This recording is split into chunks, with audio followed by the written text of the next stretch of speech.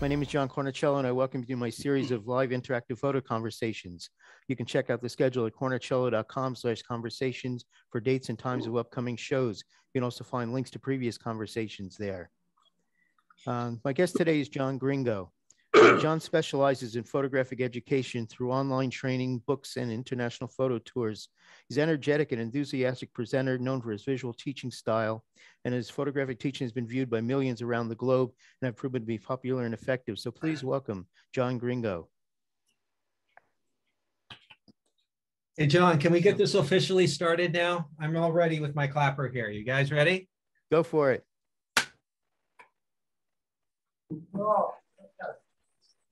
Take one. Now it's official. This has to be a one take, folks.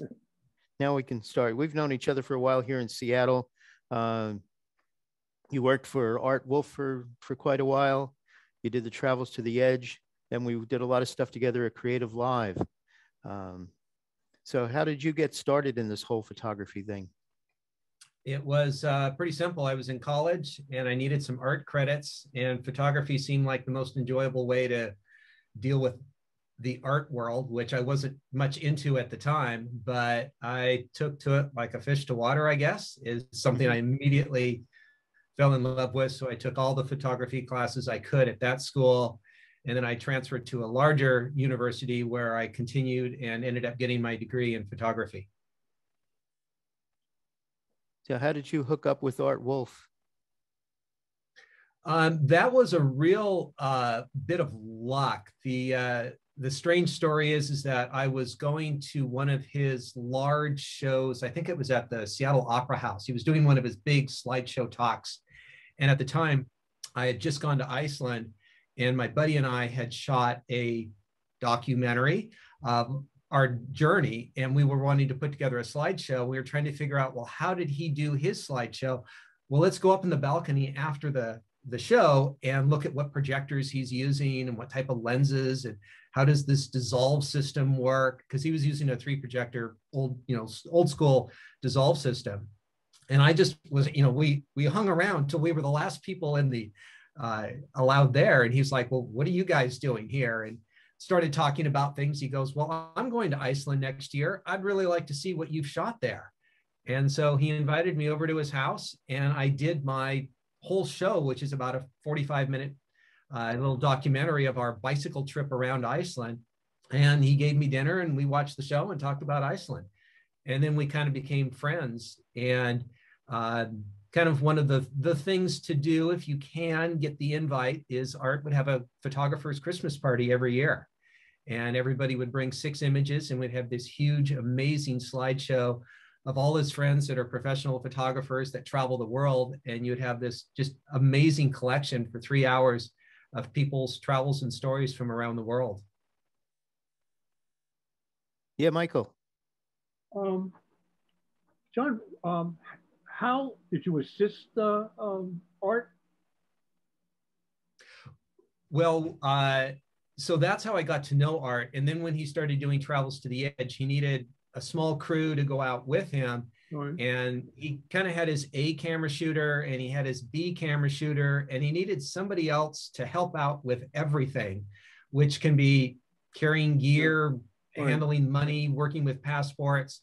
And so I wasn't um, a personal assistant, but I was kind of an assistant to everyone, but I was mainly making sure that everything worked right for art.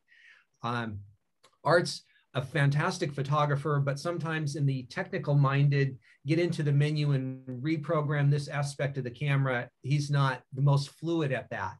Um, and so I was very technical in that regard. So I kind of compensated for that area. Were you working for him when all of his equipment was stolen in the in the trunk of his car? No, that was uh, prior to me. That was in San Francisco, and you know, I've I've heard that story a dozen times where okay. he was devastated. It, it's still sad to see that there's a lot of theft still going on in San Francisco with photographers, and that really hasn't changed in 25 years. It, it, um, and the reason why I asked that is that um, I was headed to work at Canon, and on 1010 Wins, which is the the, the big news station, a radio news station out here, I heard that um, uh, uh, internationally known photographer Art Wolfe uh, was eating in a uh, in a diner, um, and when he got back at, uh, to his car, all of his trunk was open, and all of his equipment and all of the film that he had just gotten done shooting was stolen.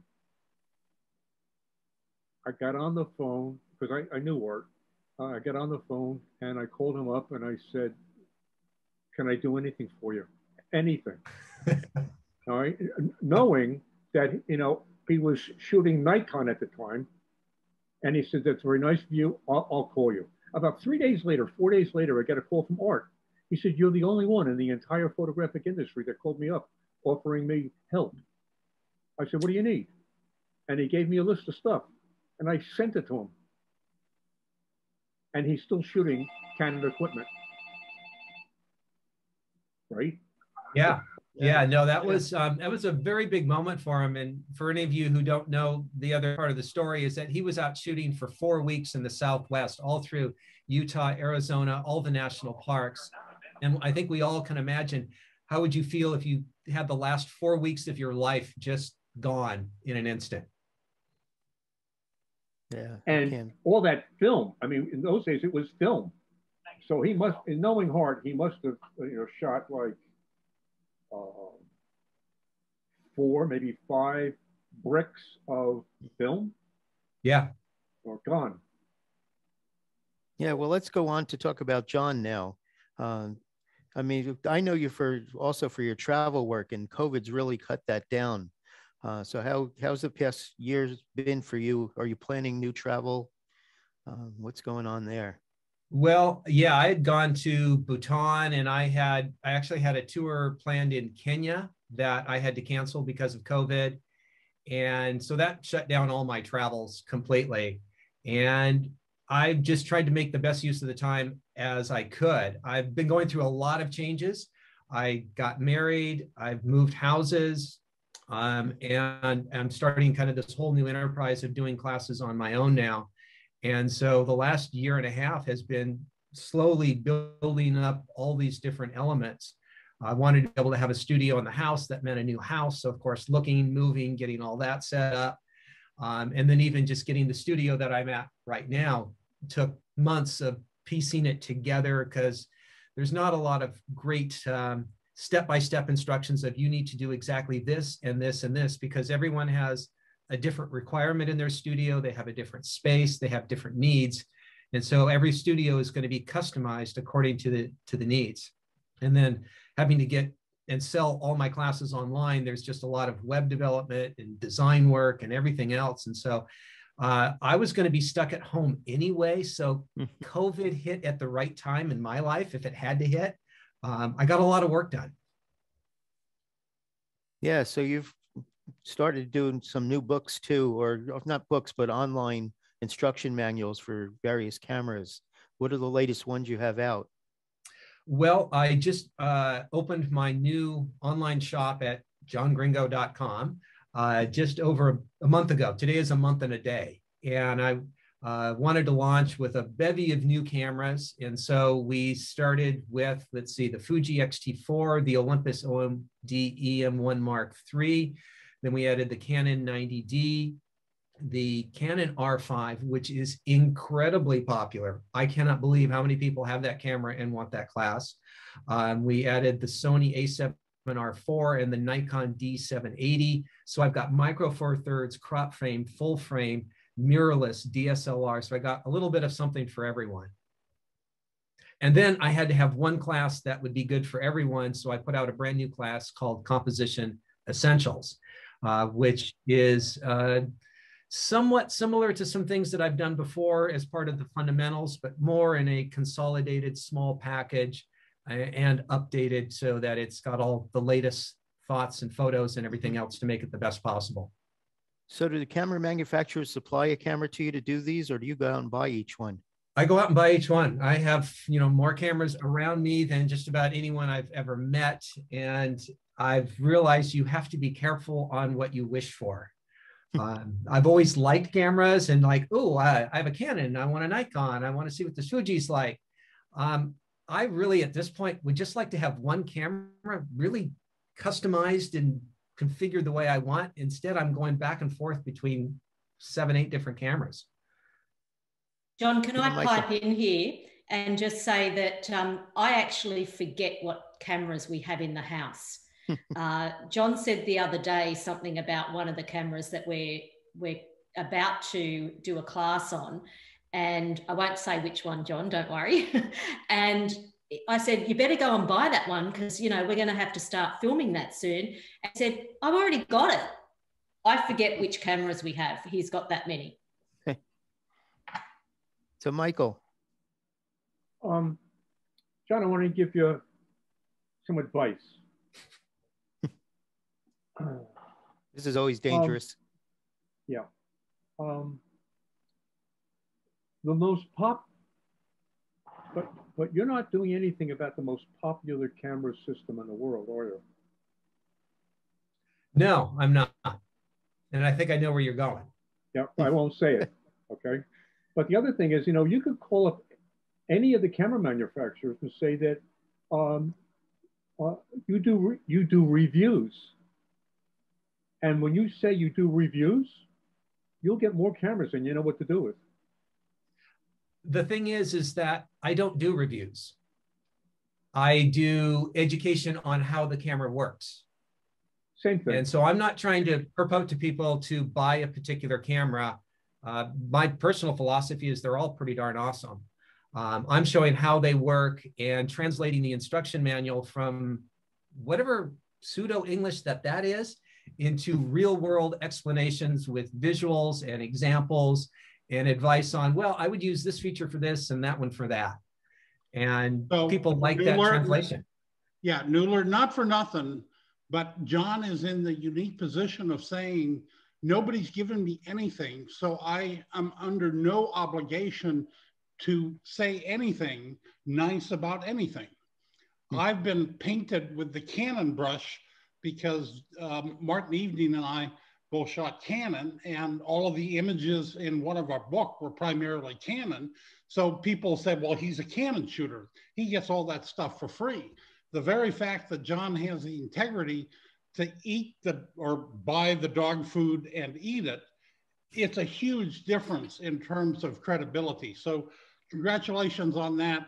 Um, uh, Michael Reichman, also another uh, camera equipment junkie, and Kevin Raber, they both would accept cameras for review, but really only did kind of a here's this new camera and this is what the camera company is saying about it. But the actual cameras that they reviewed were cameras that they bought and used, and that was what their reviews were. So there's no, you don't want to get, but but but you don't want to get touched. I get touched with with yeah. Let's let's being an Epson over the, the that. Uh, Michelle is going to show us a tour of the studio. See what John's doing here. Yeah, so we've got uh, we got the camera on a tripod here. We'll do a quick little 360 if you want to see. So I don't have a huge space. I, I, will just let on for anyone who are fans. I do have bigger plans, but it's going to take probably two years for that to work out. And so we've got a small bedroom, and I designed, I needed it to fit at least me in a chair with my big monitor. And so, Michelle, you can go ahead and we'll go this direction. And so we have got one monitor that usually has all my class display and so forth on it. This is my prop stand. And so I made a prop stand so I had something to focus on and key to it is I needed a human face and an animal face so that I can show how cameras are doing face detect and animal face detect and can track with the camera moving around a little bit. So it's a little bit limited in that regard. What, what, what's that thing in the upper right-hand corner? Uh, we got some, uh, a, a roll of Koda, an unopened roll of Kodachrome 64. Michelle's going to hold it closer to the camera. I don't know if it's in focus. It's unopened.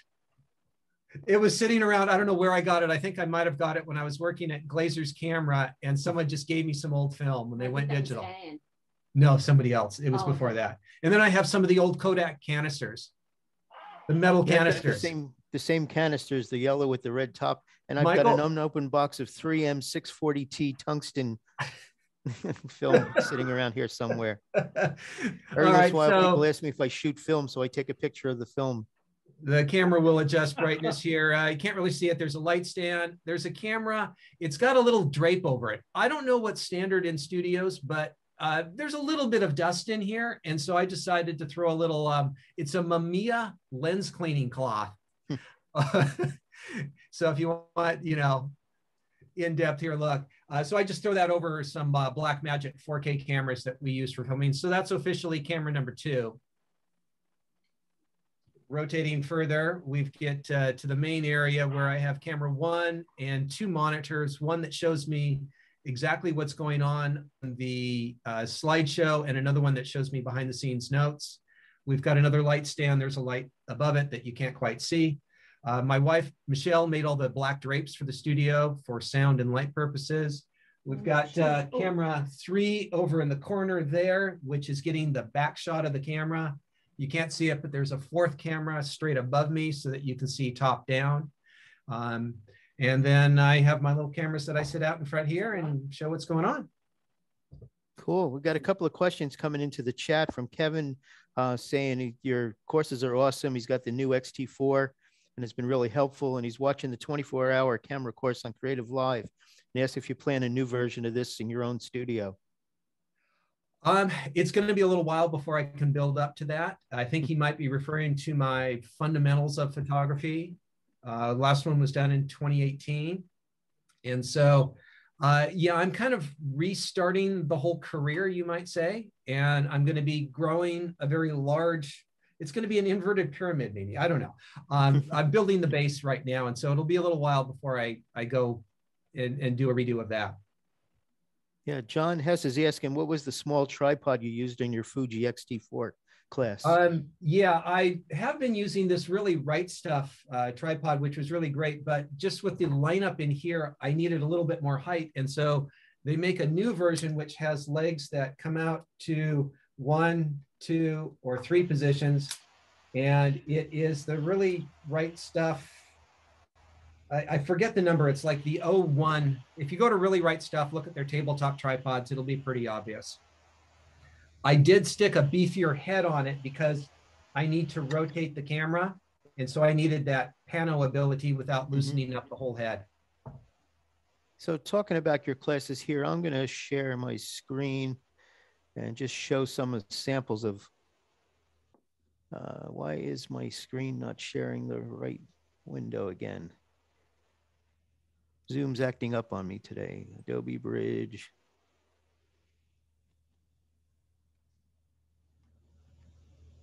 Are you So, John, seeing? while you're- Yes. John, while you're working with that, let me just explain to anybody who doesn't know anything about my classes. Uh, yeah, I know there's a ton of people on YouTube who are telling you the top five settings on a camera. And usually they just take the camera and they say, well, let me just show you these five things. And there's like not really a lot of preparation. I spend weeks making the graphics for these classes. Each class has on average 15,000 elements that I am coordinating to make and explain things in as simple and as easy terms as possible. It sounds like it's really cluttered and everything moving all over the place. No, it's I try to make a very clean and elegant uh, explanation of how everything works and uh, giving people lots of tips on where they can customize their cameras and how things work best for different types of scenarios. And so the, the difference I think between my camera classes and anyone else's is immense preparation for a very smooth final class. I go through the entire menu, every item in there, which does make it for a longer class, but it's very complete in that regard. Lots of examples before and after, how different things work.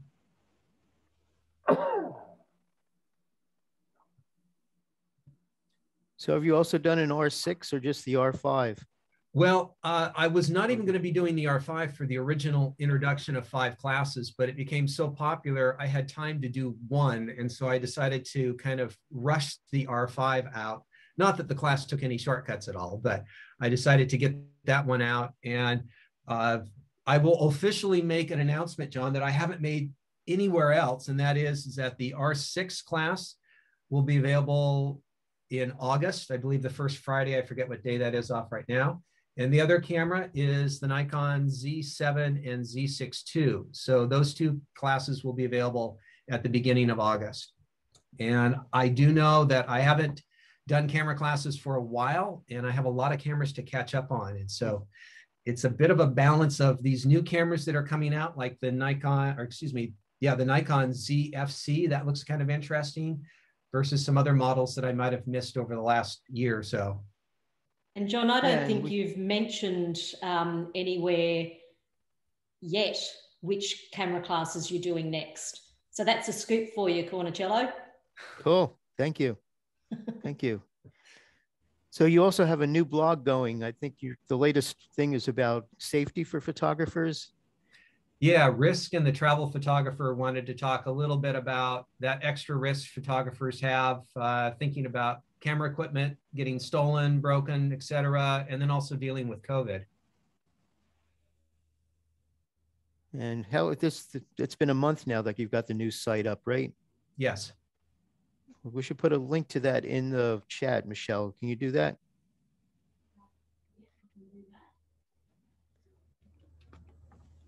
So one thing that people might not know about John. Sorry, I said probably... yes, but I had it on mute. Yeah. yes, I'll do that. Okay, great. Uh, John was in, actually one of the inventors of the selfie stick. I apologize to everyone for that. Actually, it was a monopod with his camera on it on that, that fateful trip. yeah, that was the uh, the IceAxe monopod. oh, very cool. Do people in the audience have some questions for John?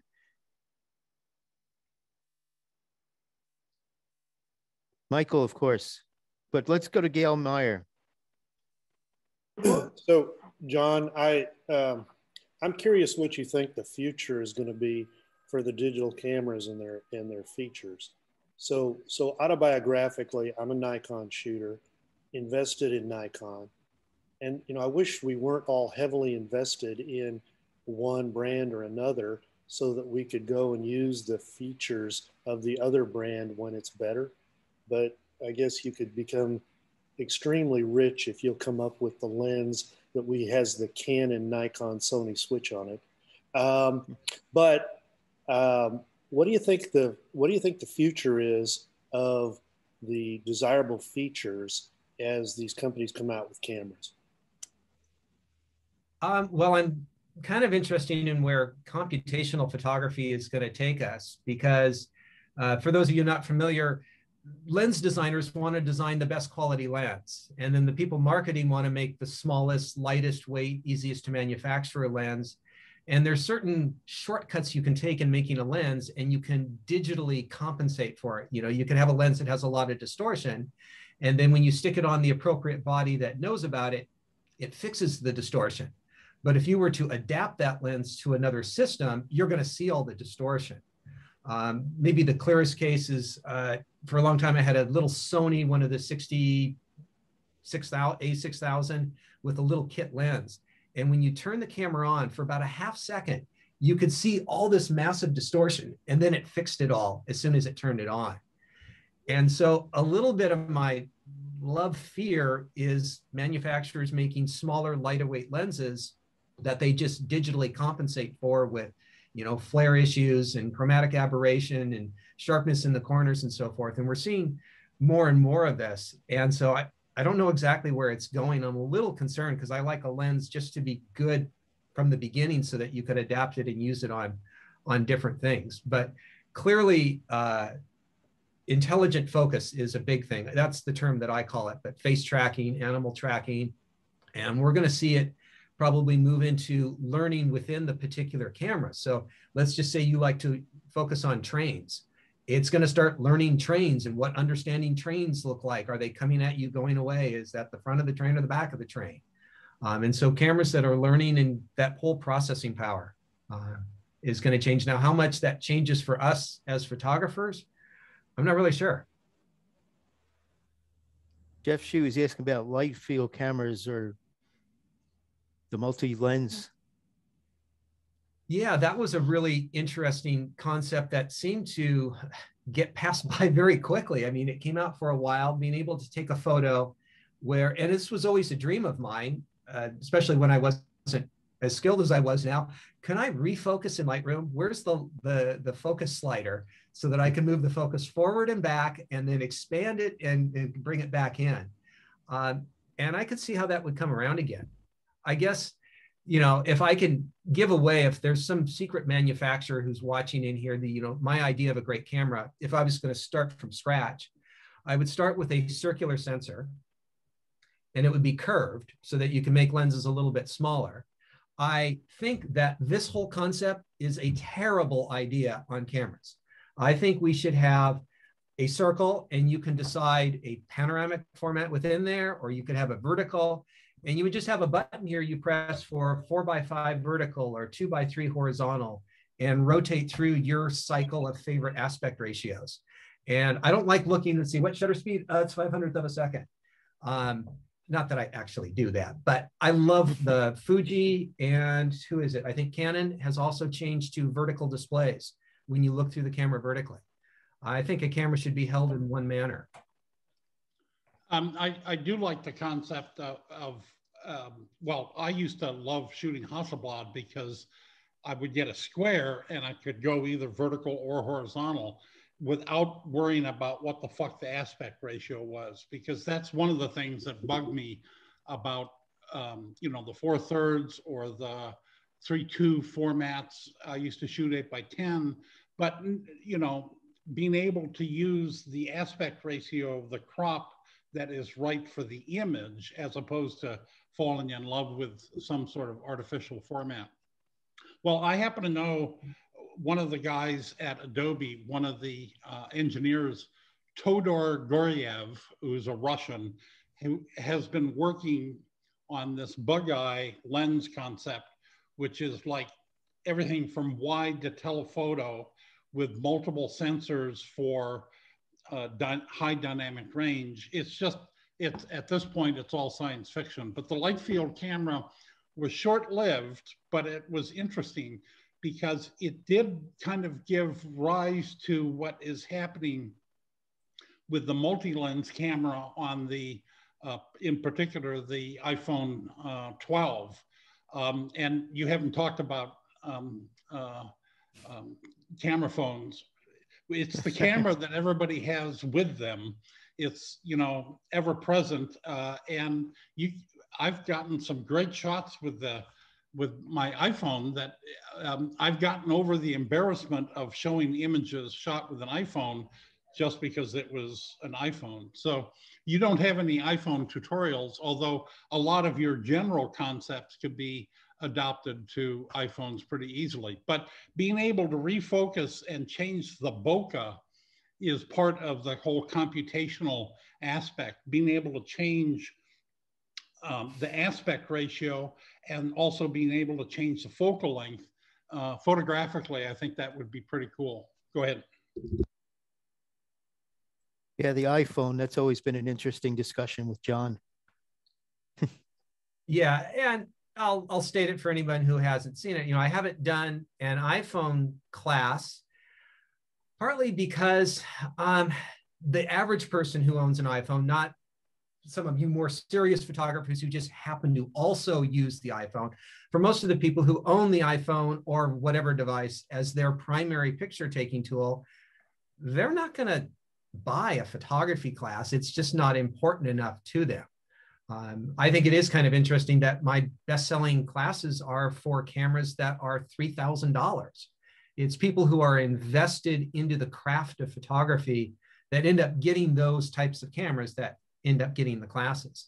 It's it's possible I could do a class for an iPhone. I'm not going to rule it out. So never say never. That's that's kind of big news. Thinking back four or five years ago, uh, on our trips to Cuba, you wouldn't even think about an iPhone. I use the iPhone all the time for taking photos, all the time. I have photos of the pipes that I need replacing in my house. I need a photo of what the flower looked like in the garden in the month of May, just so that I can see what it looks like in the month of June. And so I use it for all sorts of very practical purposes like that. I mean, that's what I use mine for too. So we're, we're in the same, same page there. Michael, go ahead.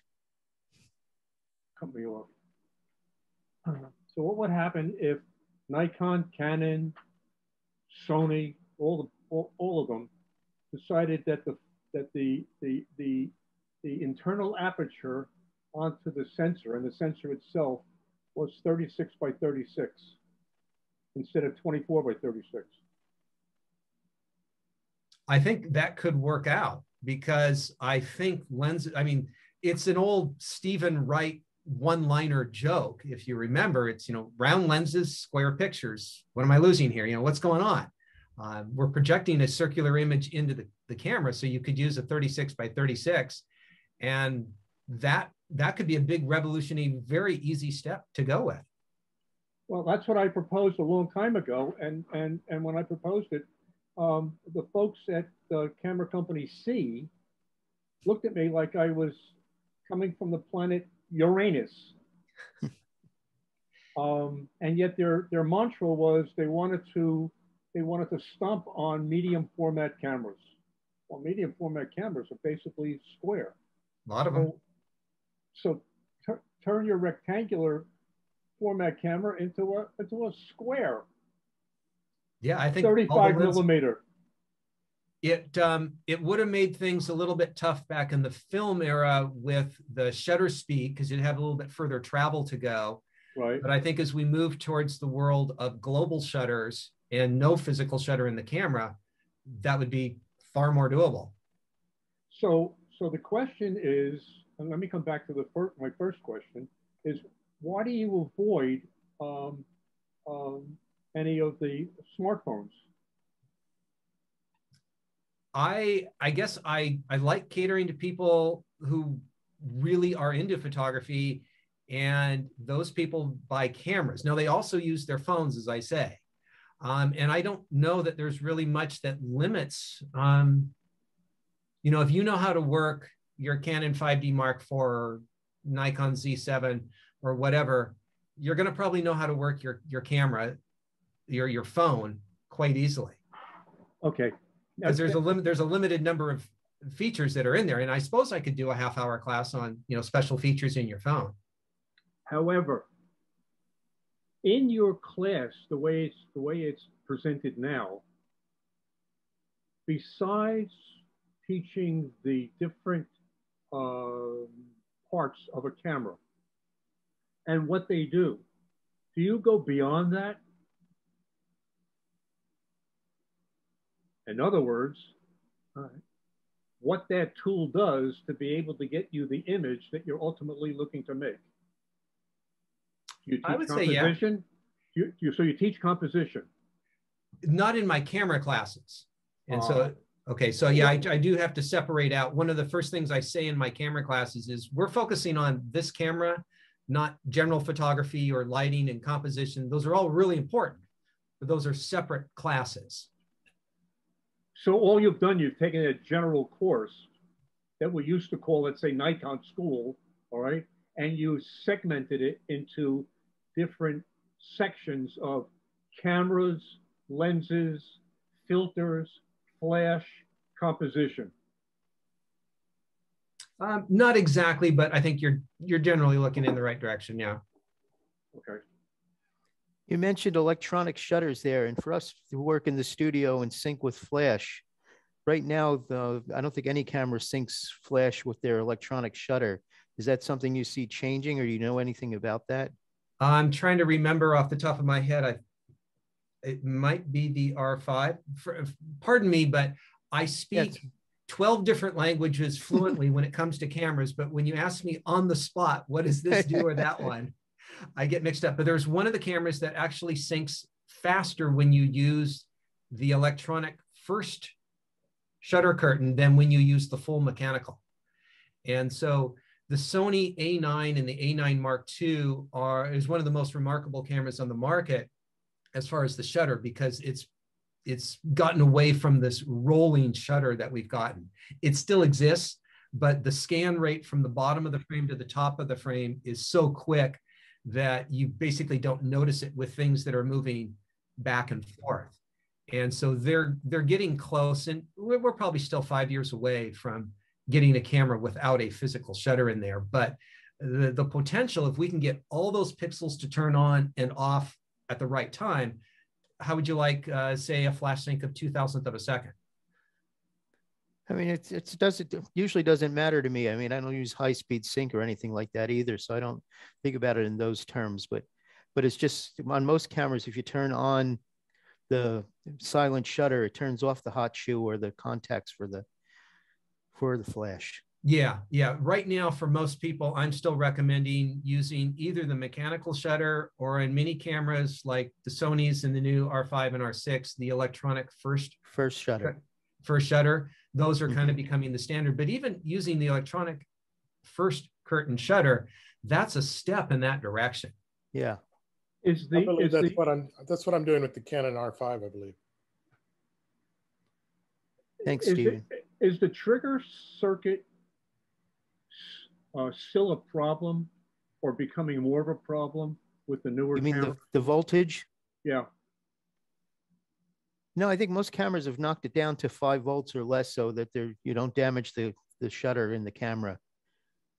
I mean, about 10 years ago, you know, Canon was a 250 volt, um, a lot of strobes.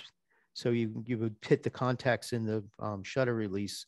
But I think most strobes now are down to five volts or less. Do you have anything there, John? No, that's uh, an area where I think you're a, a, much better expert than I am.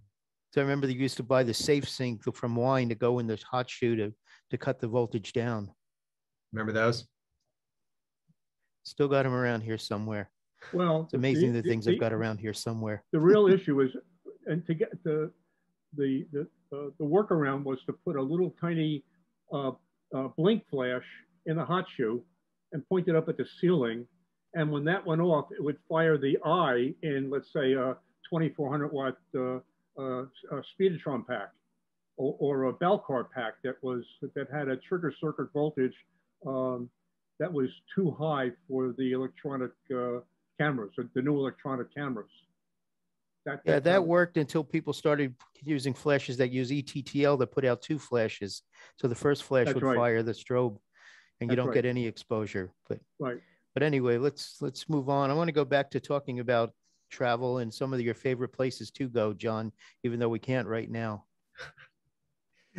yeah, certainly. No, I've uh, had the fortune to travel to a lot of different places, and uh, I'm looking forward to getting back out there. That's for sure what we what are some of your favorite places to travel to and to take workshops to actually well john the one that that we have in common is cuba and in trying to explain cuba to people who haven't been there uh, one thing that i think is just absolutely true is that i've been to about 50 countries and the cuban people are the friendliest to americans of any country i've been to um, it is just so easy walking the streets, picking up conversations with people. A lot of them speak English there, even though Spanish is obviously their native language there. And so I, have had a lot of wonderful travel experiences in a lot of great countries, but I've never met people so friendly to Americans. And I think it, it has to do with the fact of the adversarial governments that have been back and forth. And they know that if you've taken the time and effort to go to Cuba, it's a little bit more than, than most people would do. And so uh, they really appreciate. I'm showing some pictures of us in Cuba. Yeah, yeah, look at that. Got the tilt shift lens out. yeah, and so I've had a great time. I've done about four or five. Yeah, I've done five tours of Cuba, um, and look forward to go back at some point as well. Are they, still edu- to- are, are, they still educational? Yes. And now they uh, these are in the industry we've got workshops and we've got tours and my personal definition is in when you're on a tour the primary focus is seeing the land and the people of where you're at and we're not going to spend an inordinate amount of time in a darkened room reviewing images talking about composition we will take some time to review images and talk about how you are doing and what can be done to improve that. So we'll usually do two review sessions over the course of a week, but we're not it, we're not going to school while we're in Cuba. We're taking advantage of being in that environment. Uh, workshops, I think, are much more uh, educational based and a lot more in the classroom based and hands on and shooting. Um, and so we try to learn as much as we can on the go, but it's more about experiencing, seeing, and uh, as you, as you're there. Mm-hmm. Steve is saying he's got a trip planned to Antarctica later this year, and he's wondering what your top one or two best tips tips would be for that experience. So Antarctica, I've been to twice, and there's two different types of shooting. There's shooting from the boat and then getting on the land. And so when you're on the boat, that's where that 100 to 400 type lens is going to be very handy, and a very warm jacket so that you can sit out there waiting for the icebergs and the clouds and things to line up in the correct way. And so uh, I spent a lot of time out on the front of the boats, just kind of waiting for things to line up. Uh, you're limited in how close you can get because uh, you're you know on a boat but then when you get on land um, you, it depends on the boat. I've taken a couple of trips down there and one of them had a very uh, lenient cruise director that was okay we're going to be here for four hours so we'll see you back for lunchtime. And in other cases they're like okay we're going to have 30 minutes stay with, within the ropes and don't go beyond the blue border line and you're very very restricted. And so it really depends on what the setup is on that. But uh, get uh, get yourself prepared for as much land time as possible. You don't want to be the last person off the boat because you had breakfast late and oh what's an hour on land? It's not that big a deal. Each landing each hour each minute on land is precious. And so take the most advantage of it that you can. You know, Jeff and Stephen have been to Antarctica a few times too. I don't know if you have anything you want to add to that. Um, well, one of the things that I'd say is make sure you got backups. We had one shore landing that was in the rain and mist, and about a dozen people had either lens or camera failures because of moisture. I mean, it's just, uh, um, and um, it really pissed me off because uh, um, I had one lens that had moisture on the inside and I never could get rid of it. Um, the other thing that I'd say is to make sure that you uh, don't go on a trip to Antarctica with a new camera. Make sure you know exactly how to use your camera. Be very accurate. Buy one of John's tutorials for your camera uh, and bring the manual because uh, although I, I carry the manual in uh, PDF form, but uh, if there's a question on a function, you got to be able to look it up. Uh, and then the other thing is just uh, have a whole shitload of cards because you will shoot a lot. And the one of the worst things that could happen is to run out of pixels. You know, so I I took twice as many cards as I would have expected to. Um, you have downtime, and that's when you're downloading uh, off of the cards. But uh, you you literally, uh, I, I remember one time we had a couple of people that didn't bring enough cards, and they had to run back to their room to download a card. Uh, just so that they could keep shooting. And then they came back, and we all, of course, made fun of them. Oh, you should have seen it. We had dancing girls and a whale that um, uh, did, you know, jumps and backflips. And they were like, really? And it's like, no, of course not. But that would be the thing. Know your camera really well and have a whole shitload of cards. I want I want to say something about Jeff's uh, story about the damaged cameras from moisture. Uh, that was landing uh, basically in the rain. We told everybody if they didn't have any sort of camera protection, go to the uh, kitchen and get some plastic garbage bags. And they didn't do it, these people that lost their cameras. It was the first landing of a almost two week trip, if I recall correctly. And a number of cameras went down.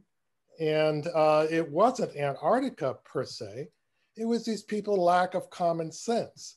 You don't go shooting in the rain without some sort of protection for your camera, no matter how weatherized. Yeah, well, Jim, that would work, but anything, you know, a garbage bag would have pr- probably kept sure. people photographing. And of course, some of them didn't have backup cameras. And so part of what allowed them to continue to photograph on the journey was other people's generosity of loaning their backup cameras to these people, which is, you know, a fairly standard level of generosity that you find on these trips. When we lead a trip, one of the things that we're trying to do is build community. And the community definitely showed after those people had their cameras go down. But Antarctica is um, not as severe as one would think during the summertime, unless you do have a bad storm. We used to joke with Jeff because being from Chicago, Chicago was actually, we were warmer than Chicago was when we were down there at times, but it was summertime in Antarctica and wintertime in Chicago. So um, the, the thing that I would say more than anything else is be prepared for a landscape really unlike anything you've ever seen before, both in land made of ice, which it often is, even though rock is often showing through. It does feel like you're on the edge of another planet. And that's what makes it so um, absolutely seduction. You know, you get seduced by that landscape so quickly. Mm-hmm. And it means that you do have a lot of repetition of a lot of abstract ice, at least I did. But by the same token, uh, sorting those things out over the years, you find that there is a, a kind of sensual design and otherworldly quality that is even beyond what you were able to fully take in and appreciate while you were there. You're going to have a great well, thanks. Yeah. One of the funniest stories from our first trip to Antarctica, Seth Resnick and John Paul Caponigro. Seth and I were roommates, and John Paul and Stephen Johnson were roommates. But Seth was running around with a 302.8 almost all the time. He almost never shot wide angle. And uh, JP was running around with his 14 millimeter.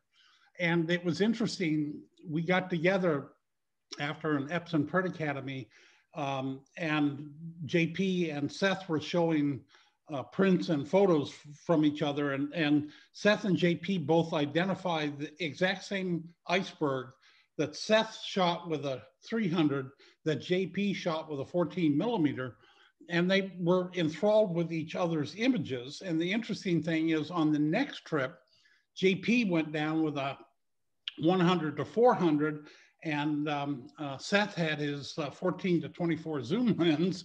And it was funny because they basically uh, changed their way of looking. And that's one of the things that I'd say about Antarctica. Um, Stephen is right. You know, after a certain point, you get tired of fucking icebergs. We go out there and look and, oh, it's just another iceberg. But you can always look at it in a different way, zoom in and pay attention to detail. The other thing that I have, I've got three trips to Antarctica uh, that I want to go back and uh, look at because I want to see Antarctica in black and white. Uh, just the tonalities of ice and rock and sky and clouds.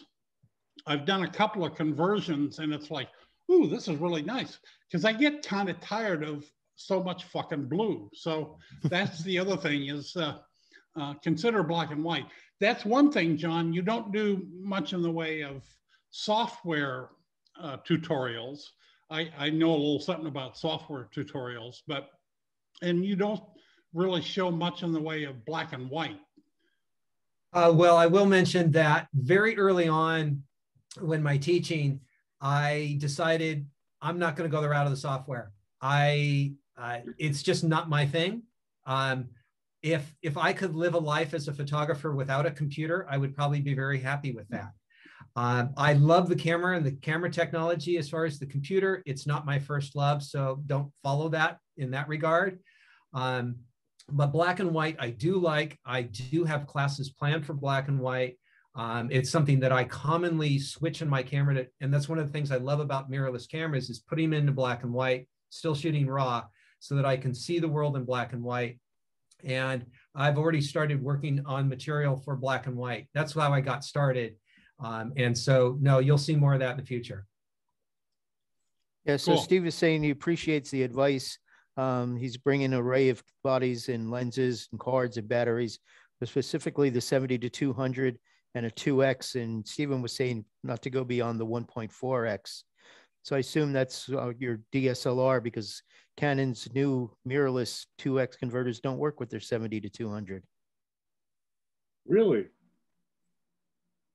Really? do, do, they know that? yes. oh. Because uh, you know the Canon extenders have that the front extends out, And on the RF lenses, the rear element is right at the back of the lens. So you Mhm. can't mount the lens onto the, uh, the, the 2X or the 1.4X. It only works Yeah, I think now that was the, 600 the and compromise when they made the really short 70 to 200s is that Mm-hmm. that's the area that got cut. I wonder Yeah, if so anybody. how do you feel about teleconverters, John? I do own the the 1X and the 2X Mm-hmm. And what's was true 30 years ago is true today. Uh, it's better not to use a teleconverter. The 1.4 is not too bad. Try not to use the 2X unless you're really desperate. Um, and So you know, if you if you got a small little bird and you need to get in close to it, you have the option of either cropping or using a teleconverter. Uh, the tests that I've done show that the teleconverter is better than cropping, uh, but that's none of them are as good as getting closer to that little bird. Mhm. I wonder Steve, if what any is of the the longest lens you're manufacturers have any plans of coming back with um, reflex lenses, like the five, the Nikon 500 millimeter. Mirror lenses. Yeah, There is a patent out by, I think it was Canon for that. Okay, can I tell you my dream lens that yeah. nobody Sure. makes? At least I have a lot of different focal lengths, but I would like a 100 to 300 f4 with a built-in 1.4 converter. I like the 100 to 400, but I like having a steady aperture over the whole range. And that way I could have a 100 to 300 that's nice constant f4 or roughly a 100 yeah, it'd be about 125 to 420, five six Five constant. six. Yeah. The longest lens I brought on the Antarctica trip was the Hasselblad 500. Then I took the phase one back down with it. Wow. And that, that particular lens has pretty severe chromatic aberration, but thanks to Camera Raw, I was able to dial that out and was quite surprised at being able to hand hold a medium format camera with a 500 millimeter lens and being able to get some photographs that were relatively sharp. I didn't have much optimism for it at the time, but it worked out pretty well. If I recall, the Hasselblad 500 was about that long, maybe a 95 millimeter filter or so. You sort of cup it around your arm you know, in some strange ways. Hmm. Yeah. The other thing I'll say about Antarctica is uh, being true to the craft, we all dragged our fucking tripods down there. And after the first couple of uh, shore landings, um, the number of people carrying tripods dropped precipitously. Uh, it, it was a situation where, you know, just run up the ISO if you need the shutter speed. Um, so there were reasons, you know, Stephen, when he was shooting his uh, um, um, panning camera, um, obviously that you couldn't handhold that. Although, did you ever try hand holding that, Stephen? No, you can't really handhold. well, it could be an interesting kind of, uh, uh, but anyway, um, don't fall in love with carrying a tripod around in Antarctica. It's it's tough to use on the boat, and it's. I'm not saying don't bring it because there may be situations where you want um, a long exposure, and the best way to do that is to stick it up on a tripod with a ND filter or something. But um, um, don't think that you've got to carry the damn tripod uh, every time you do a shore landing. I still was grateful to have my tripod along, even when I wasn't using the uh, scanning back on the 4x5. Didn't mean I always used it, but I was grateful to have it along. And I did use it quite a bit. So, Okay, so John, my other always been a advice for Antarctica, my other advice for Antarctica is I think the zoom lenses are going to be a bigger benefit than the prime lenses. And it partly has to do with your limited time, either in any one time and place, switching lenses and the exposure to the elements. And you're not dealing with low light conditions. And yeah, a, a prime lens might be good if you're trying to get shallow depth of field, but that's generally not huge thing in that type of environment. I think if you want to do well, go to a desert and practice shooting in the desert, which is already a great place to shoot, but that's going to give you the style of some of that Antarctica shooting. Well, it's also true that you spend a fair amount of time in the zodiacs just going to and from both land and exploring icebergs. And that's not a place I'm comfortable changing lenses unless I really have to. So I really want to have a lens on that I'm going to keep on. Mm-hmm. Any That's thought also on? one. That's really a, a zoom, is what Yeah. I'm implying. Go ahead, Michelle. So with with the two bodies, um, I know a lot of people take two bodies as a backup um, or as a fail safe. But it's also really good that if you have two bodies with two different lenses on, take both of them out with you, and then you don't have to change lenses um, when you're out in those conditions. Mm-hmm. I haven't been to Antarctica, I'll say that, but um, I have lived for a long time in the snowy mountains in Australia, which is very wet snow conditions. And I would assume that you know a lot of the elements um, would be the same. You don't want to change lenses. The um, downside is then you've got two cameras to protect against the weather, and sometimes not protecting the camera becomes a real priority. Mm-hmm. Yes, yeah, that is true. So Steve is asking your thought on color on um, circular polarizer filters for for the trip, or just in general. Yeah, I don't use polarizers, so I don't leave home without one. I like what I see. Let's see. Kevin's asking, maybe you have a tip oh. for me. When I shoot in the city with the XT4 70 to 300 on 300 to a range of 1.3 miles, the lines from buildings are frayed and wavy. Uh, dust pollution in the air or something like that, or is it heat waves? Is there something to avoid that? Does that make sense to you? Heat. Yeah, that sounds like atmospheric condition. That's that's the air, that's dust, that's everything between you and that building. It, it sounds like he's talking about a mile. Yeah, there's there's yeah. a lot of stuff in the air. Yeah, I don't know. Is anything you can do about it? No, I, have run into similar situations trying to fire the photograph SpaceX rockets down here in Texas, and they don't let you get close to those for obvious reasons. But um, if it's a hot if it's a hot day, 80s or above, uh, atmosphere can be a problem. So, John, do you ever use monopods? Uh, that's what I was about to want to bring up in topic is I do shoot with a monopod uh, often when I'm chasing birds and I'm long. Um, I prefer a monopod and was curious.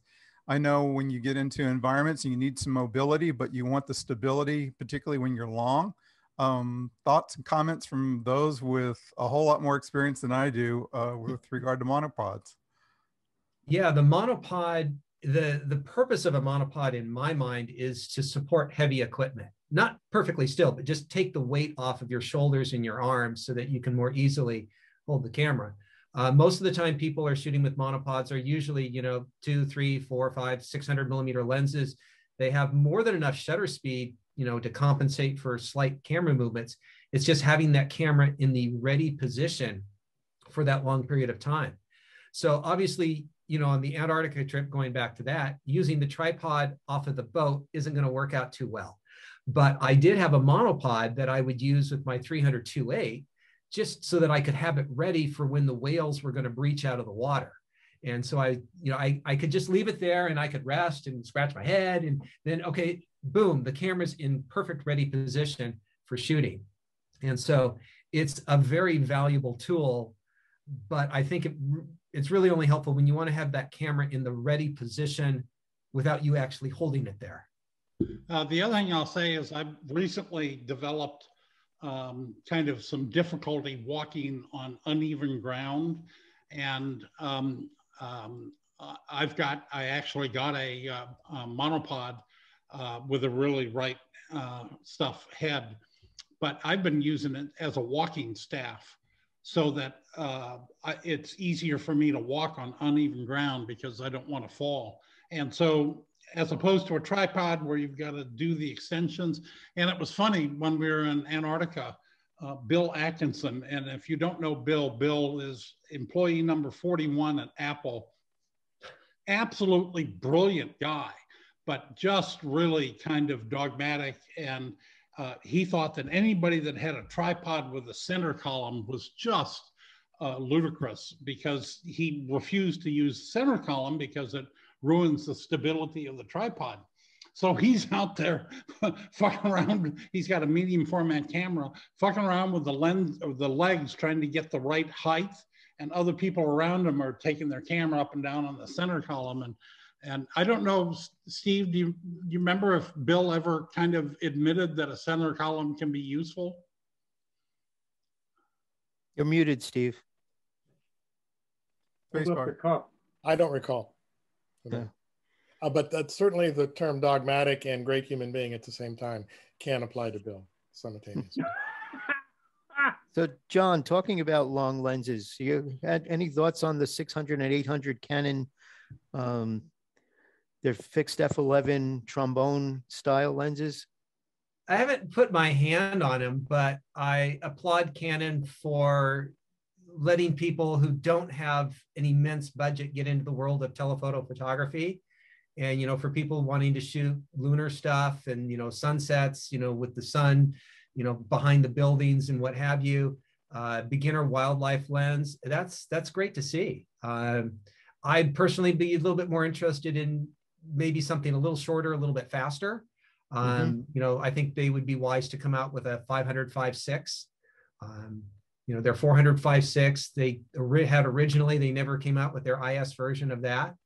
Um, so I, I, am I'm, I'm glad that they're doing some interesting lenses along with the, the staples that we all need in the 70 to 200 2.8s and stuff. Mm-hmm.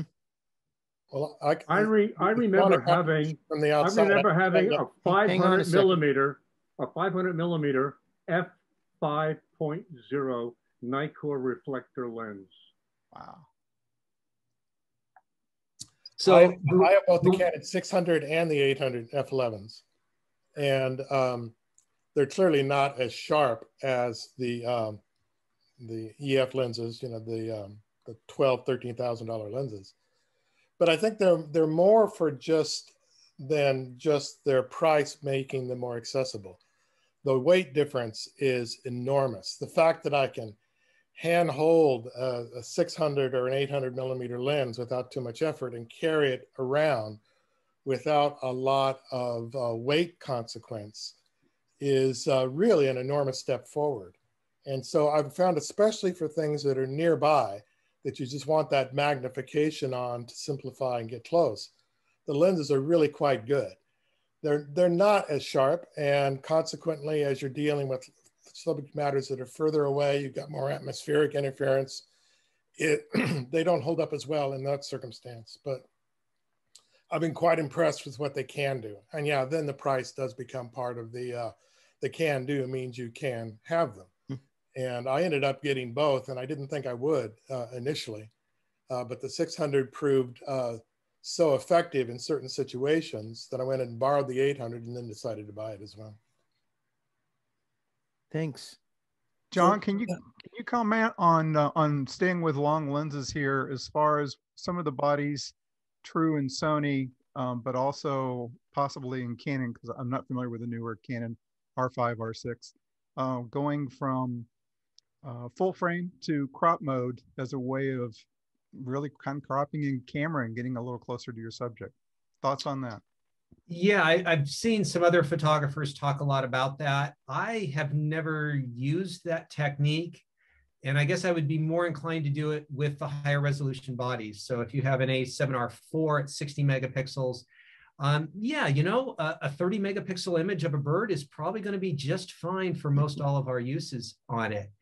Um, and you know i i am all for trying to get as good a view of what your final image is going to be. And so if you know you have to crop in and you know you're going to crop that away and you have a shortcut button on your camera to immediately pop in it makes perfect sense if you're just going to be cropping everything away anyway. Um, but then it makes me think well maybe i want to use it and have a little bit more creative composition later on that i wasn't considering at the time i was shooting.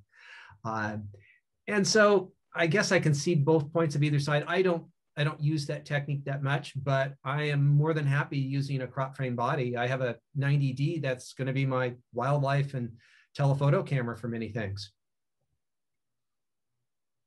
I, I work I work in a similar manner, cropping with the hot button off an A7R3, and it's great.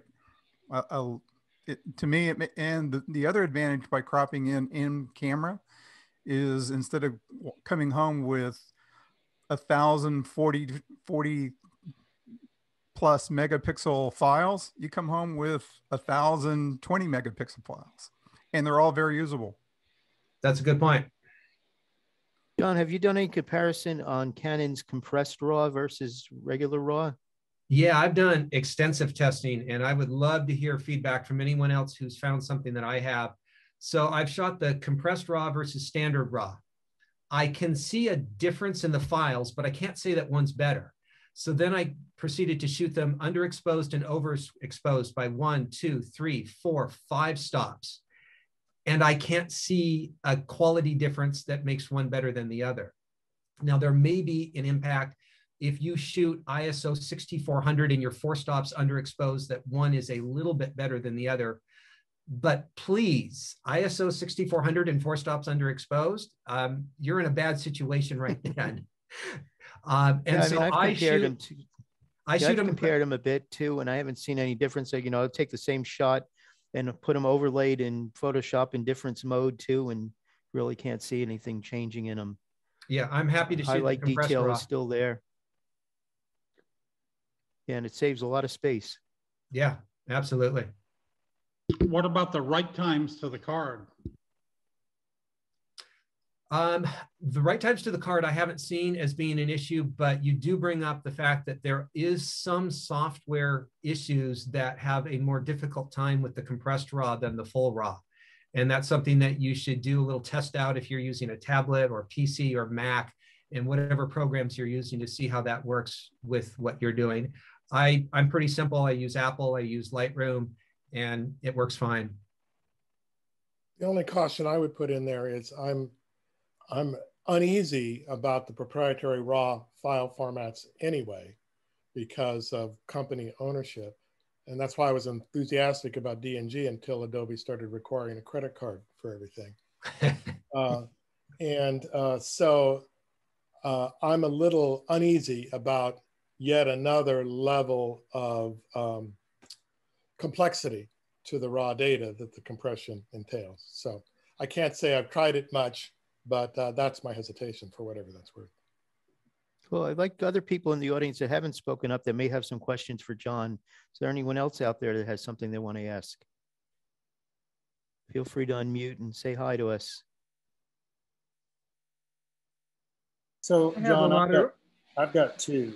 Um, yeah, one Gail. Is, one, one is I don't, I don't really believe there's a, unless you know that there's a great wide angle lens out there that doesn't have a substantial amount of distortion. And I'd be, I'd be interested in your, and remember I'm a Nikon shooter, I'd be interested in your opinion.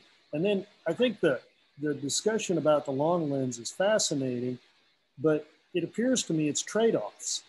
So yeah, I could get a better picture probably with a long fixed uh, focal length lens, but I'm also going to miss some pictures because it's a fixed focal length lens and it's probably heavier. And I, I love my 70 to 200. That's why I put the picture behind me. That's the uh, uh, south rim of the Grand Canyon. Um, but I have a 150 to 600 Tamron G2.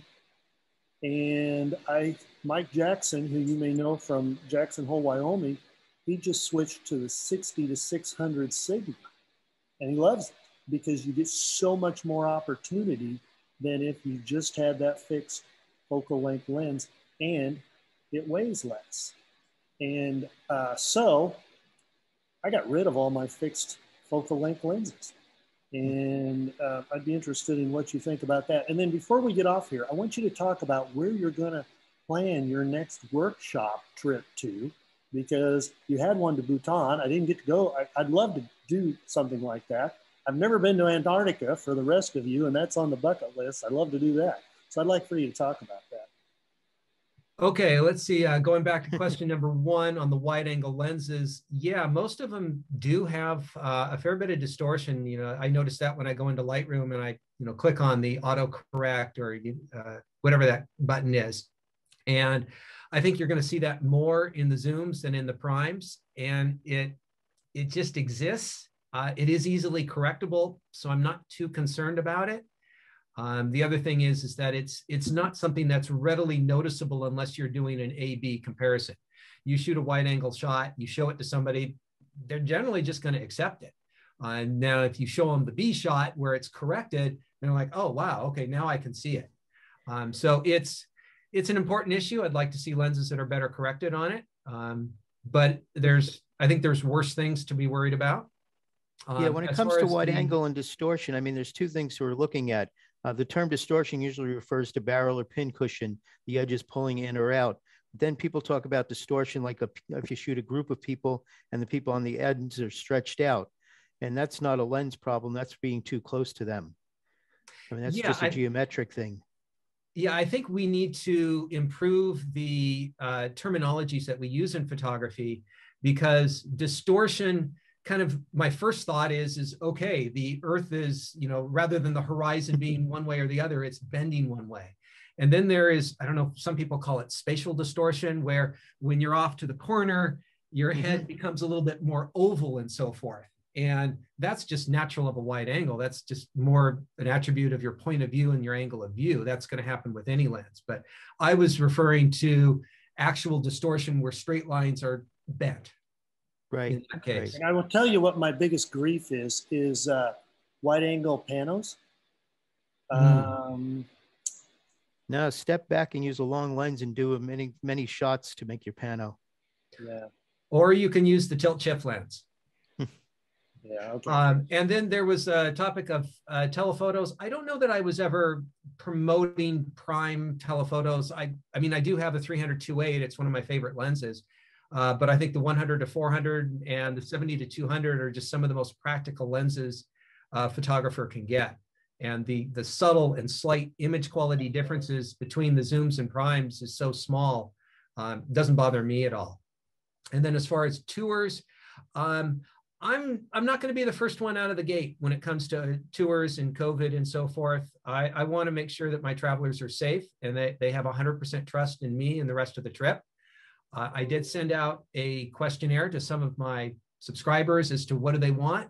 And you know, some people came back and they said, I don't want to be forced to be vaccinated. And then other people said, well, I don't want unvaccinated people trip on my trip, um, limiting us in where we can go and what we can do. And so I want to make sure that the locations that we go to are safe and something that we feel comfortable. I don't have a specific number or stat that I can put to that right now, but it's something that um, I want to feel comfortable with first. And in fact, I may go out and do some test trips to make sure everything is the way it should be beforehand, which means I should get out traveling pretty soon. And I John agree with Hess is the, asking in the chat there, he has a Fuji X-T4 and he's a cyclist. So that's up your alley. What are your lens recommendations for bike packing with this camera? Um, I'm kind of a big fan of Fuji's new 16 to 80. That's roughly a 24 to 120 range. And so I could live very happily all the time with that lens. Now, I, the problem I have is that I still like that 18 to 55. That is just so small. Best kit lens ever in photography.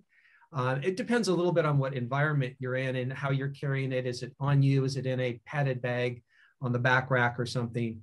Uh, but I think in situations like I've done a lot of bike tours and climbing trips, you just have to put some limitations on what you're going to focus on and what you're going to try to document. And narrowing it down to one zoom lens certainly simplifies it. John, could I Stephen. comment for a second? Yeah. First of all, I wanted to really agree with the uh, COVID virus hesitancy about running workshops. I, I have to be out there for myself and moving around and being sure I'm comfortable before I want to ask people to gather. The first ones I'm going to try are completely outdoor workshops, and that's not till December. And, um, you know, all prep, all pre meetings done virtually. Um, the other thing that I wanted to come back to is uh, somebody said earlier that the tele extender can't be used with the Canon 70 to 200 on the new cameras. Yes. If I understood correctly, it, it certainly does. Uh, you, if you use a uh, an EF tele extender in front of the the uh, EF to RF converter, it works just fine, like any other uh, EF lens being put onto the RF lens system. So something. something Ah. Checked it out. Very because- tricky. He added an element that we weren't Yes. talking about. Well, it's the only way to use the 7200 unless you're going to buy a brand new RF. Yeah. Well, I, I do have a 70 to 200 RF lens. Yeah. And that one has the flat, has the, the rear elements right at the back. Well, you'd be using the new uh, RF tele extender then, wouldn't you? The RF tele extenders have, do not fit on it. That's interesting that they would design a system that doesn't work now when I've got my old system that works just fine. Yeah, it worked on the, the old ones. The, the teleconverter right now only works with the 600 and the 800. Hmm. Uh, yeah, well, they're physically incompatible. It Holy works with shit! The, it you works think with they the made a mistake? It works with the 100 to 500 zoom, but not over the whole range. Sony has a similar thing, and I think what's going on is they don't feel they can correct things enough. Anyway. So for whatever uh, that's worth, I, I just wanted to make sure. I, cause yes, I, thank you. Do you have a class for the Z50 Nikon? No, that's um, that's kind of fallen in the CreativeLive to John Greengo gap of cameras that I just haven't been able to get my get time to do. I've been too busy building out the studio and stuff. Um, it's unknown. It's there's a production limitation of how fast I can make classes.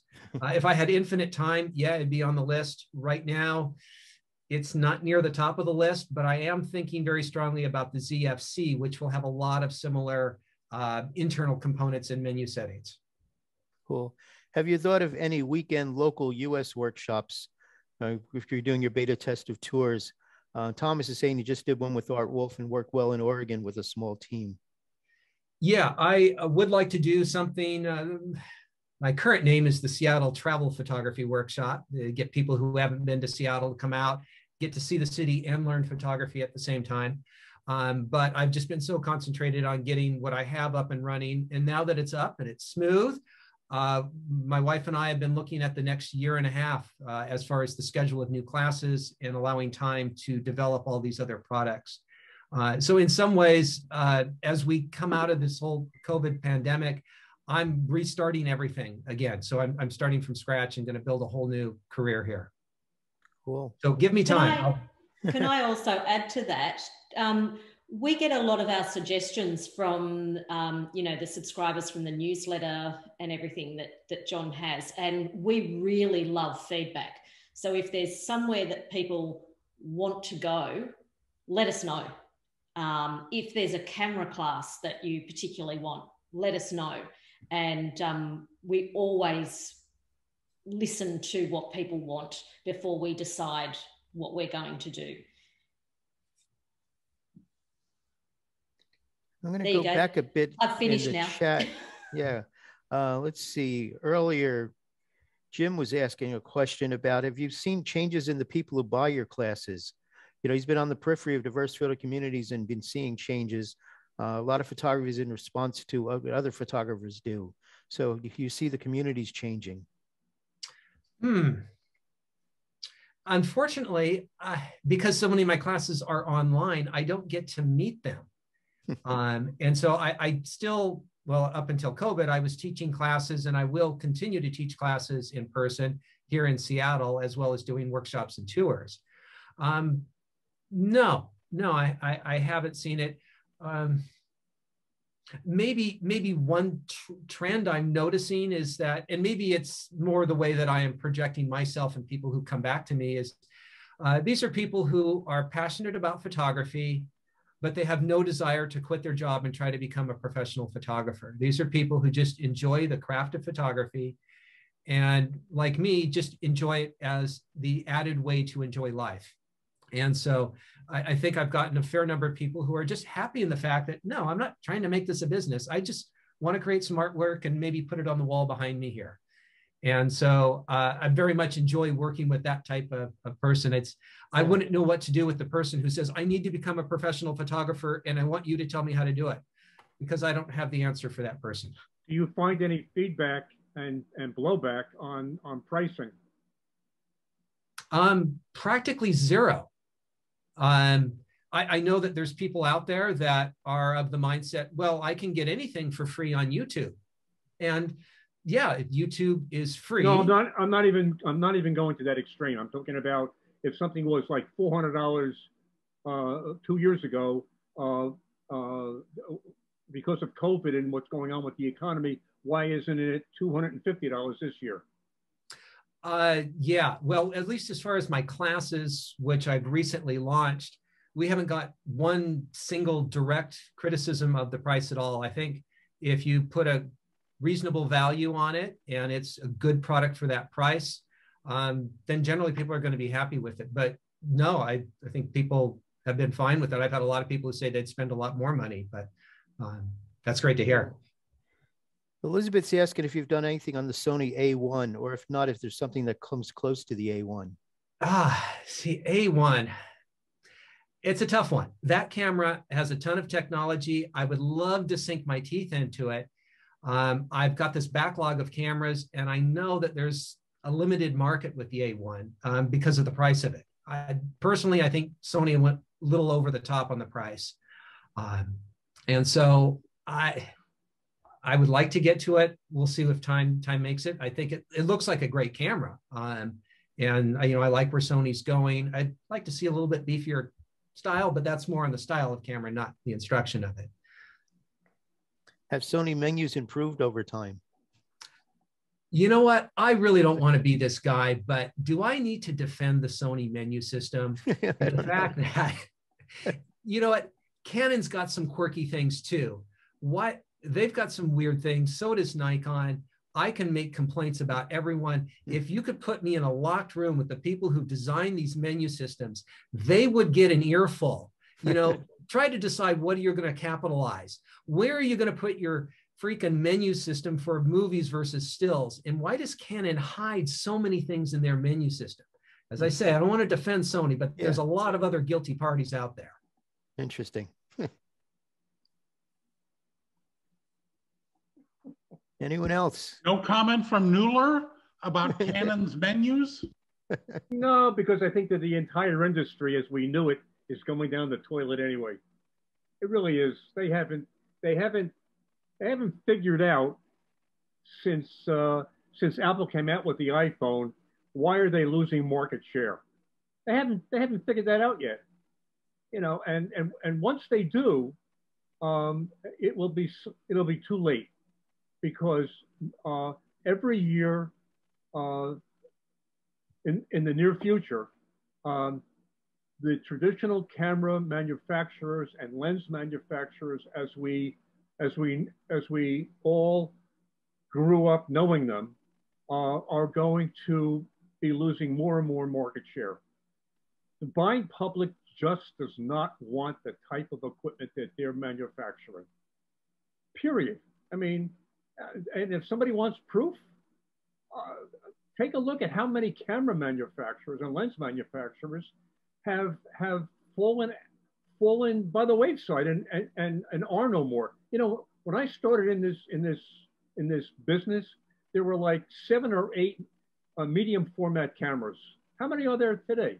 Michael, that that's not Three? a good argument. Look, look at the the PC industry and how many computer companies no longer exist. Hmm. But I don't see the computer business going out of business. It no, just but winnows down no, but to the strong characters. But you, but you're comparing apples to oranges. We're talking about a a phone that also does photographs. What does a camera do? Does it call home? No. It's it's the same thing that was was was manufactured by Leica back in the in the 20s. Uh, there, has been this no. Sound, but, but, there's been no. Sounds like the, this sounds like the argument of 150 years ago when when artists were saying, well, "What's going to happen to painting? It's going to disappear because cameras have come out." Well, you're right. I don't see painting disappear. Well, because painters painters aren't photographers, and photographers aren't painters in and most people, sense. And most people. I'm going to take this in a totally new direction, though. I'm going to ask Harris to ask a question here. Mm-hmm. Going back to the Antarctica, we've been talking about equipment, but he has a really great question about as humans feel uh, when they approach Antarctica. So go ahead, Harris. Hi guys, nice to see everybody. I really enjoyed this. Um, yeah, I'm I'm curious about for each of the people who've been to the Antarctic and other kind of extreme environments like that. What was it like for you as a human just to suddenly or maybe not so subtly, maybe it's gradual. But what was it like to to encounter this this world? And did you grow tired of it at any time? Was it a, a kind of a spiritual experience? Were you in awe of it? Did you kind of were you just gobsmacked?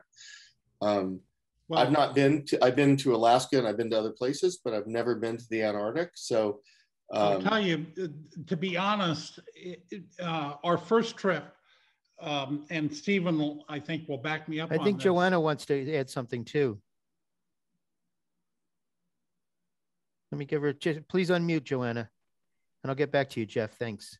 Okay, thank you very much. Um, I have have not been to Antarctica, but I have been to Svalbard, actually a lot closer to the North Pole than you get to the South Pole the, uh, in Antarctica, plus very few people up there.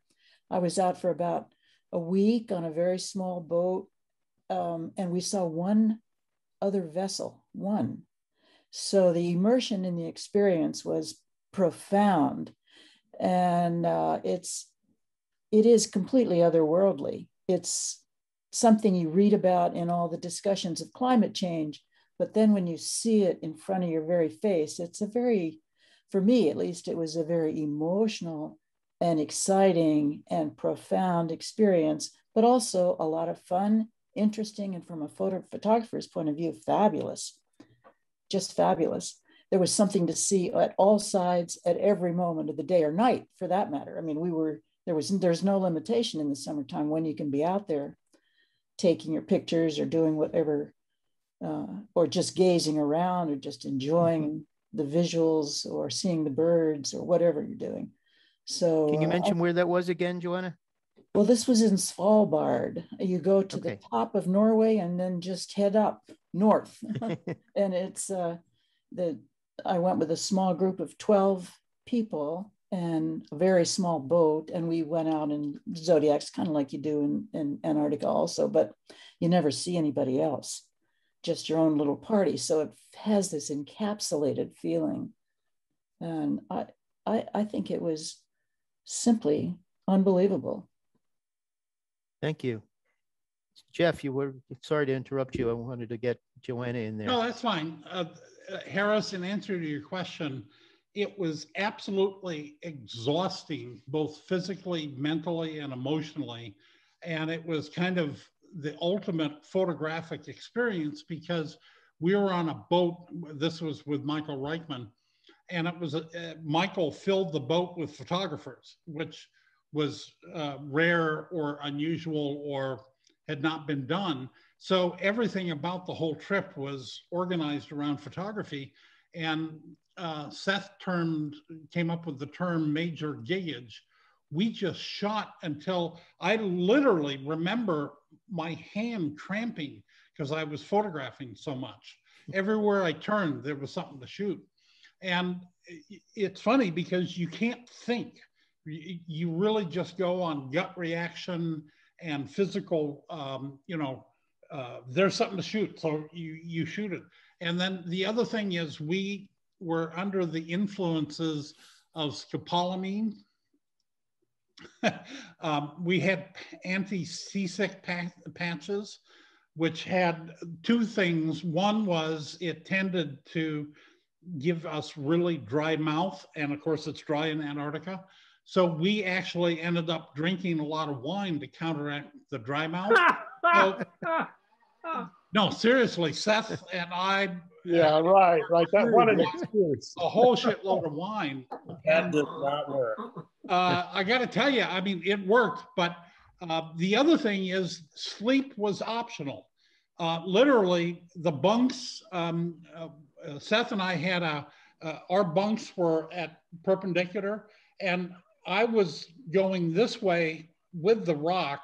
Seth was going this way. He couldn't sleep because the way the uh, boat was rocking, he kept rolling over and a couple of times fell out of bed. So when it was rough, uh, just a real tough physical environment also. Um, getting um, on land and, and walking with those big goofy boots that they made us wear. Um, and, you know, it was, uh, particularly our ship was not in the least bit luxurious. Um, uh, so it was a converted Russian research vessel. And, uh, but I wouldn't trade the experience for anything. So tell me, tell, uh, tell me something, Jeff. Um, this experience that you, you just described was the first time that you went there. Now you've been back about two or three more times, right? I've been there three times. Seth has been there like 20 times. Right. But is it? Can you describe the other two times that you went there against the first as being as exciting as it was the first time? Uh, the second trip was the longest and probably the least fun. Uh, we started and and went to um, uh, the Falklands and then went down to the peninsula. Um, it was very challenging because of weather. Like I said, we lost a bunch of cameras and lenses. Um, and and it was it was like 21 days. It was just too fucking long. Um, the third one, and also three different times of the season. Our first one was in December. Our second one was in January, February, and the third one was at the end of February. And we saw a lot more uh, um, uh, wildlife um, on the. Uh, was it the second one, Steve? Um, Seems like it. I think that's when we saw the whale breach and right in yeah. front of it. Uh, so you know, a lot of it was just um, uh, the other thing that was really 2005 to 2009, not a long time, but Nikko Harbor, Nikko, N-I-K-K-O Harbor. We went to the same place on all three trips, and what was shocking and amazing was how far the glacier had gone back. When we first went, it was out into the water. And on our last trip, there was about 150 feet of shore. And the people on the expedition were like shocked at how far the, the glacier had retreated. And so uh, Antarctica is really suffering. So is the Arctic. Uh, all of the, um, well, the whole Earth is suffering from massive uh, climate change. So that was that's that's all I got. Well, the other part that of it help is Harris. I, I I've got some comments for Harris too on his question if we've got a minute. I seriously believe that nobody is going to Antarctica for at least another year because in South America there are countries in South America that you need to go to before you head on to uh, Antarctica that will not that are suffering because of COVID, the, the, the new strain of COVID. So Go that's going to be a, quite a while. Yeah, well, that that could well be, Michael. The uh, I think the thing that was uh, most profound for me about the Antarctica trip, and that remained true of all four of the trips I've done down there, is that it it's something I mentioned earlier. It's it's almost as though you're you're getting near the edge of another world, and I don't mean another environment on Earth. I mean something that gives you a feeling as though you're you're on the verge of being on an ice planet and um, ice and sea planet. when you are work, walking on dirt, it actually starts to feel unusual that there is dirt there as well. And the fact that there are no trees anywhere and the plant life is pretty minimal in that dirt, you start to get a feeling of what it might be like to stroll another planet. And then you think back, at least I thought back to the fact that Antarctica was once in a different position on the planet, had tropical forests, and was there's a whole history of the planet Earth buried underneath that ice. And it made me keep thinking about the cycles the Earth has gone through in terms of its, its own evolution, climate changes, species changes, perhaps civilizations rising up and falling away to the point that we don't even know uh, what was before us.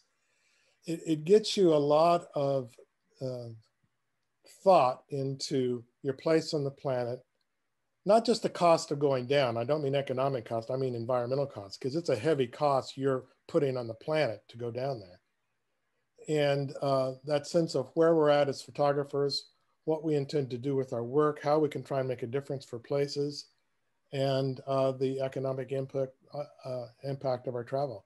It provoked a lot of thought, a lot of introspection, a lot of trying to understand the planet for the breadth of what it is, rather than these very narrow views that we carry around most of the time. So I found every one of the four trips I've been down to be profoundly emotional and intellectually stimulating and very humbling uh, in Thank all you. of those ways together. Cool. And change again a little bit.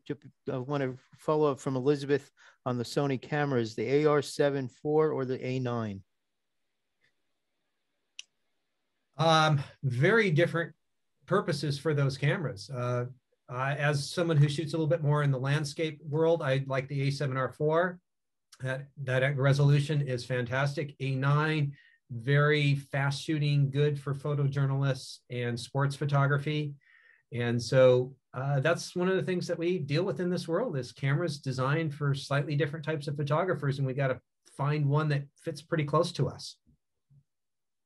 So John, what's your favorite place to travel? Uh, someplace new.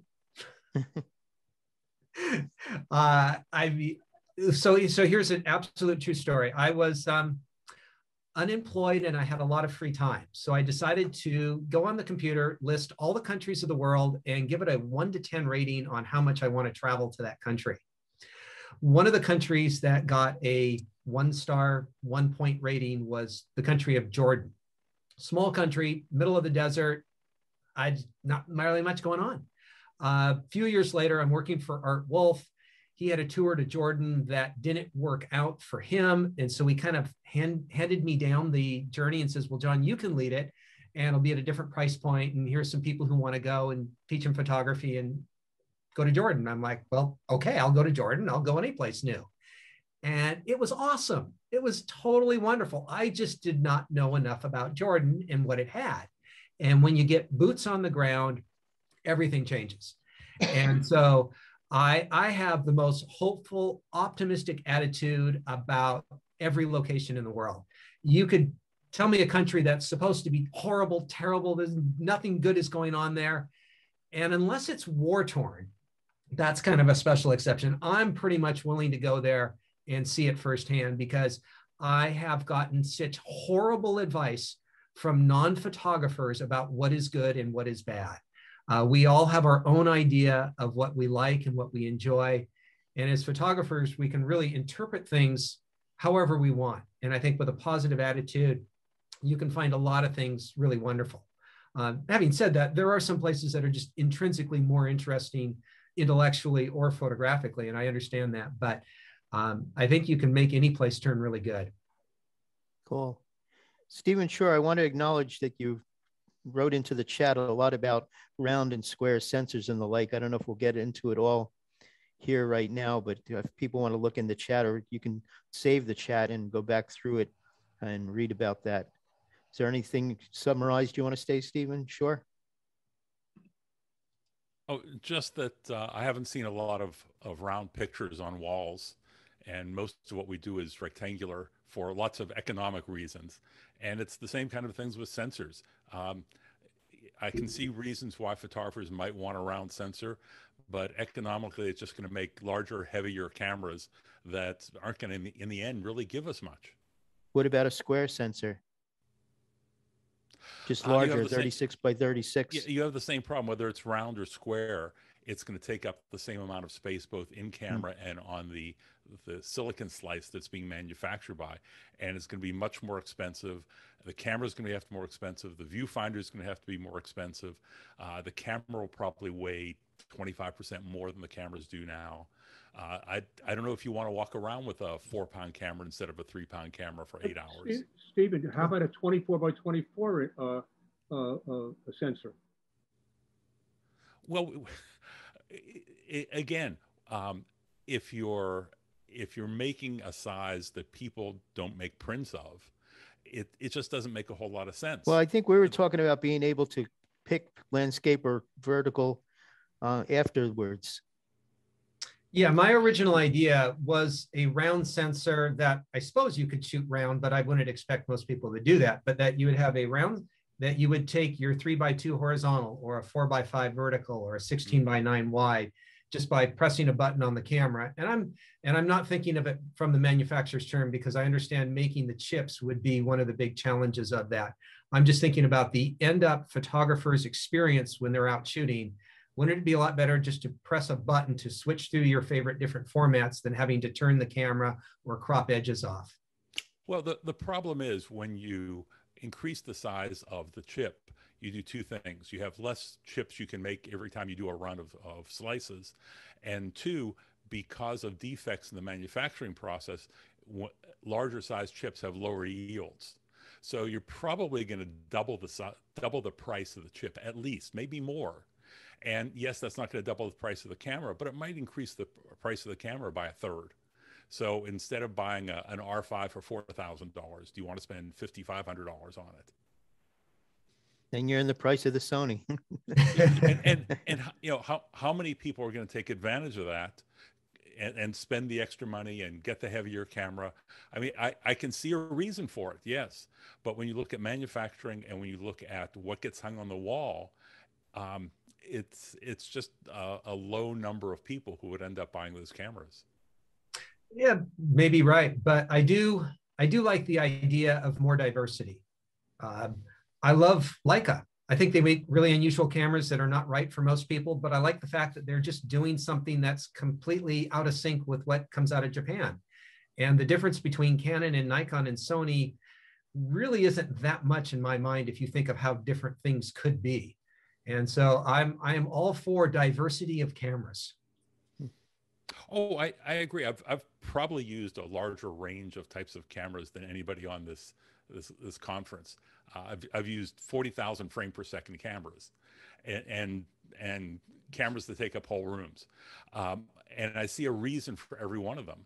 But if you're a, a, a quantity manufacturer like Canon or Nikon or Sony, you, you don't make a lot of, of special interest cameras where you're only be able to sell 100 of them. You want to sell 100,000 of each one. So my pain point is when you go vertical and it's a low point of view. And you know, you have the articulating screen and I can't figure out why they don't make our, every articulating screen so that it turns so that you can stand up and see what you're doing uh, as opposed to laying on the ground sideways and hoping that you are level and, and get it the way it should be.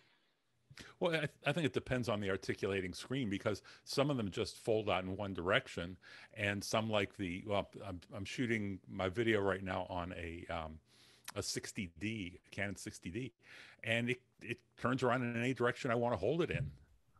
Yeah, John's got the R5 there. Yeah, like that, exactly. Yeah, what, what John so, is showing right now. Yeah, so uh, there's a love hate I have with this little piece of technology and for shooting your low angle shots, yeah, you can get it like this. You can get it right next to the ground. You can see vertically straight down on there.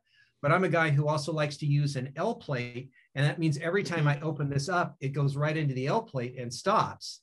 In which case, I actually prefer something like the Sony, which just has a flip out screen, but then I can't shoot the verticals.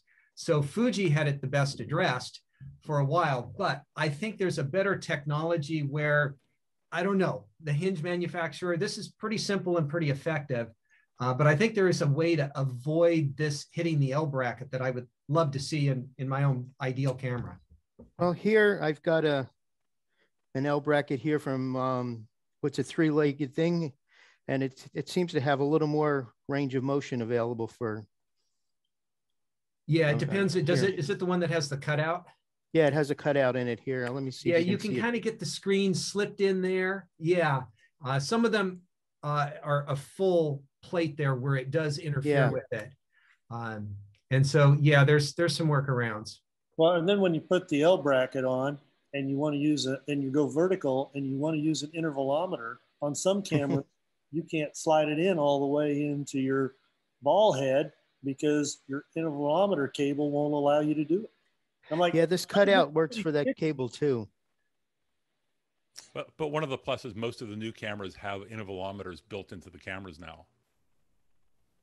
Yeah, nice feature that's been added. Very nice. So anyway, let's close up with Jeff We had a quote of yours, John, from your Art versus Tech, that the great land of photographic opportunity and potential lie more in the world of technique and composition than anywhere else. Yes, become an expert in your gear so it's not an obstacle to your more important goals. Then focus on what will truly make you a better photographer and pursue it like your craft depends on it. I think we can all agree with that. You know, it's not all about the technique, though. We all like to talk about the equipment sometimes. Great. Thank you. Do you have any final words for us today, John? Boy, uh, uh, no, uh, it's been great talking with all of you, hearing your questions and your thoughts. And I do hope to uh, lead some more tours and trips in the future. And I did have a, a revelation when I was out shooting at the University of Washington uh, cherry blossoms that were out. And I think uh, in, in my group tours, I'm really going to focus on the work that everyone does so that they can learn from each other. I think, you know, as much as I know and as much as I've been in the industry, there's only so much I can teach people. And I'd like to gather groups of people that can help share their points of view and their ideas. And so I will be hopefully doing workshops and tours where everybody are everybody in the classroom is a teacher. Nice. Nice. Anyone else have anything last minute they want to ask or share? Otherwise, I'm going to thank you all for a great show today. Uh, let's see. Just getting some thank yous in the comments. So I'm going to stop the Facebook feed now. So just one, just one comment for John. Yeah. You, John, you, you don't know what impact you really make, I don't believe, but you're, you, you have a large ripple effect and, um, and, and it probably goes farther than you understand. And I've, I've always found that your classes are really, really, really good. And, and that's obvious. But I think the other thing is um, and one thing that had a profound effect on me is in one of your classes, you said you're, you said that you're only five minutes from a good photo at all times. And um, I have used that over and over and over again when people are saying, well, there's not much going on right now. And I'm like, no, wait a minute. There really is. And it's amazing. And, and what that does is it makes me self aware to the fact that I'm taking pictures that I think are really good pictures. And you all have experienced this when other people are driving down the street past this and they never even noticed that it existed. And, and for that, I will be ever grateful for you. No, thank you. Thank you. Cool. Well, thank you all for joining us. I'm going to end the recording here.